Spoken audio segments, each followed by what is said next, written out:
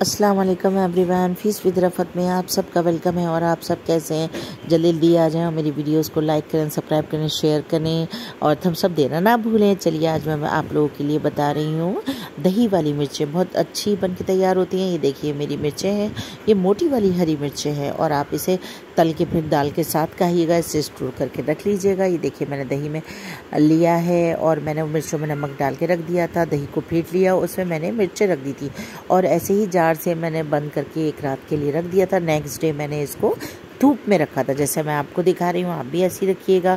और धूप में रखने के बाद ये आपकी बिल्कुल सूख जाएँगी। मिर्चें मैं आपको दिखाऊँगी कैसी मेरी सूख के तैयार होंगी। ये देखिए, ये बिल्कुल सूख गई हैं मेरी मिर्चें। और हम इसको स्टोर करके रख लेते हैं। और जब दाल चावल बनते हैं तो उसके साथ खाते हैं, मज़ा ही आ जाता है। ये देखिए, मैंने स्टोर करके रख लिया आपको जब भी दाल चावल बने, आप उसके साथ इन्हें फ्राई करिए और इसका मज़ा लीजिए। बहुत यमी बन के तैयार होती हैं, गेस्ट को भी खिला ओके फ्रेंड्स, नेक्स्ट वीडियो तक के लिए las aferas